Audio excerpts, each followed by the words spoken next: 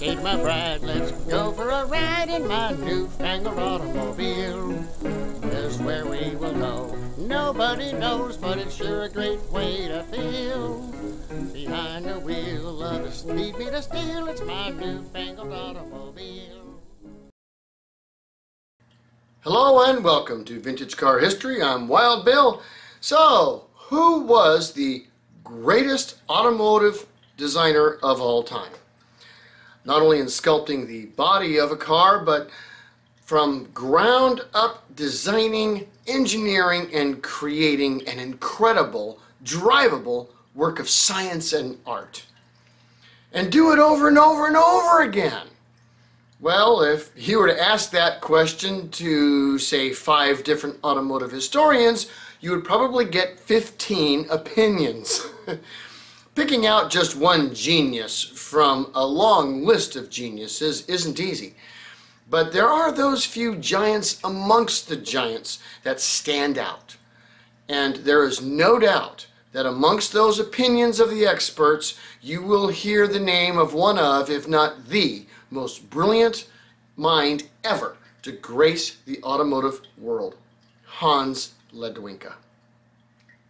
The man was born in a suburb of Vienna, Austria in 1878. It's called uh, Klosterneuburg, if you can manage to pronounce that. Obviously, I can't. Now, I could just say he was born to be a gearhead, but that would be an understatement. Young Hans was shy, rather irritable, and wanted nothing more than to play with machines. And not just take them apart and figure out how they worked, but rather to figure out how to make them work even better. His uncle Johann owned a small garage where he both repaired whatever came in through the door as well as built custom tools with his machining capabilities. And at the ripe old age of 14, Hans entered into his apprenticeship there and he wreaked havoc in a good way. Whatever tool they were making, he could figure out a better one. Whatever they were fixing, he could make it better than it was when new. So it didn't take long for him to be accepted into a proper engineering college, which happened two years later. Now, this 16 year old started working towards his engineering degree, specifically as a shopmaster. The four year curriculum offered at the Vienna State Artillery School took him two years to complete. And by the age of 18, he was not only an experienced machinist, but carried an engineering degree. Any company would have to be absolutely stupid not to hire this guy, and quite a few vied for him. And in 1897, the winner was Nesselsdorfer. This is a big win for both young Hans Ledwinka and Nesselsdorfer. The company had been around since 1850. They started out manufacturers of wheels, wagons, and carriages, but by the 1890s were also making railway cars, big ones for heavy transport. The company was already putting people and things on wheels, and the idea of bringing on such a young and brilliant engineer was enticing. Also, by this time, the company was one of the largest in what was, at the time, the Austro-Hungarian Empire. Located in Koprimchins, oh, I screwed that up, in the modern-day Czech Republic. One of the longtime supporters of this company was the Crown Prince of Prussia, Prince Henry. And the prince wanted cars. So, the company tapped the shoulder of two of their youngest, brightest engineers that they had and asked them to design and build a car for their company to offer for sale, Hans Ledwinka and Leopold Svitak. The two of them got to work, and less than a year designed and produced the first car to be built in the empire, the Nesselsdorfer Präsident, which hit the streets in 1898. Now it is true that the engine of this car was actually a twin-cylinder Benz engine producing 5 horsepower, but it had a two-speed transmission designed by Hans as well as a very interesting form of rack and pinion steering which allowed for the handlebars to make much more effect on the road.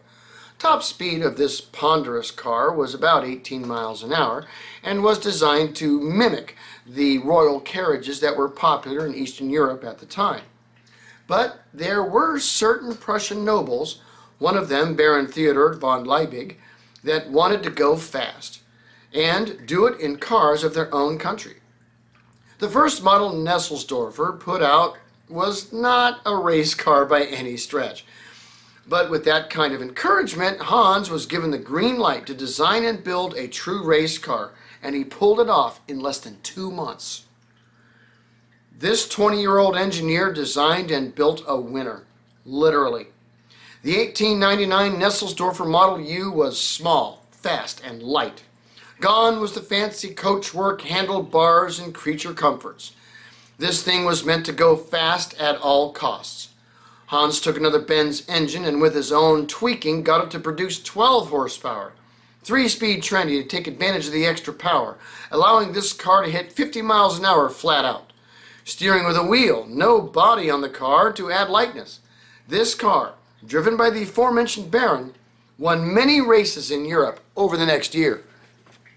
By 1900, a 22 year old Hans Ledwinka had established himself as one of the premier car designers in the world, and that reputation would grow immensely over the next 50 years. Swing axles, monocoque construction, aerodynamics, monoblock engines and transmissions, all either invented or perfected by this man and are still industry standards to this day we will have much, much more to say about this automotive giant of giants in the future. But for now, know that his first two car designs eventually led to the creation of one of Eastern Europe's greatest makes of cars, Tatra. Thanks for watching Vintage Car History, and we'll see you next week. Peace.